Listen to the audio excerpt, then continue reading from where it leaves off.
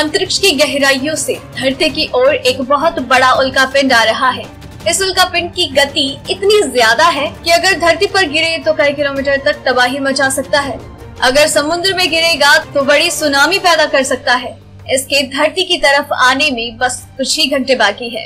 इस उल्का पिंड की गति 13 किलोमीटर प्रति सेकंड है, यानी करीब छियालीस किलोमीटर प्रति घंटे की रफ्तार।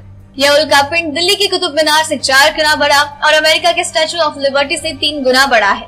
इस एस्टेरॉइड का नाम है 2010 एन वाई सिक्सटी फाइव। ये एक हज़ार सत्रह फीट लंबा है, यानी स्टेचू ऑफ़ लिबर्टी से करीब तीन गुना और कुतुब मीनार से करीब चार गुना बड़ा।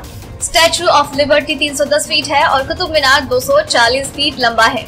ये एस्टेरॉइड छियालीस हज़ार पाँच सौ किलोमीटर प्रति घंटे की रफ्तार से धरती की तरफ़ आ रहा है। ये एस्टेरॉइड आज, यानी 24 जून 2020 की दोपहर बारह बजकर पंद्रह मिनट पर पृथ्वी के करीब से गुजरेगा।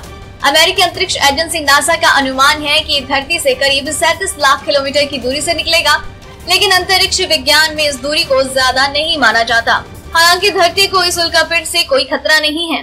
नासा के वैज्ञानिक उन सभी एस्टेरॉइड्स को धरती के लिए खतरा मानते हैं, जो पिछहत्तर लाख किलोमीटर की दूरी के अंदर से निकलते हैं। इन तेज रफ्तार से गुजरने वाले खगोलीय पिंडों को नियर अर्थ ऑब्जेक्ट एनईओ कहते हैं। सूर्य के चारों तरफ़ चक्कर लगाने वाले छोटे छोटे खगोलीय पिंडों को एस्टेरॉइड या शुद्र ग्रह कहते हैं। जून में एस्टेरॉइड गुजरने की ये तीसरी घटना है। पहला एस्टेरॉइड 6 जून को धरती के बगल से गुजरा था, ये 570 मीटर व्यास का था। ये धरती के बगल से चालीस हज़ार एक सौ चालीस किलोमीटर प्रति घंटे की रफ्तार से गुजरा था। इसका नाम 2002 एन एन फोर था।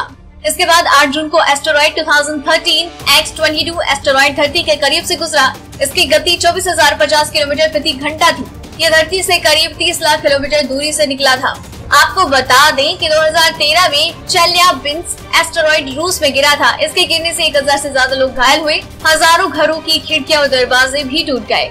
अगर आपको ये रिपोर्ट पसंद आई तो इसे लाइक और शेयर करें। साथ ही अपने व्यूज़ हमें कमेंट करके ज़रूर बताएँ। सब्सक्राइब करें हमारा चैनल ऐसे ही लेटेस्ट और इंटरेस्टिंग न्यूज़ के लिए।